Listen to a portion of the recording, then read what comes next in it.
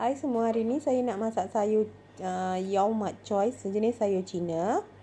Jom masak. Inilah bahan-bahannya.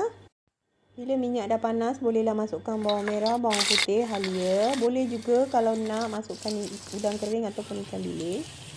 Kemudian masukkan garam sikit dan saus tiram. Kacau sebati.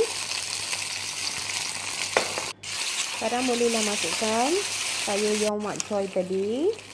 Sayur ni saya dah rendam dalam air garam dan basuh bersih-bersih ya. Bila sayur dah layu sikit, bolehlah masukkan tepung larutan tepung jagung ya. Kacau sebati dan dah siap. Sayur ni sedap dimakan panas-panas ya. Okey, selamat mencuba.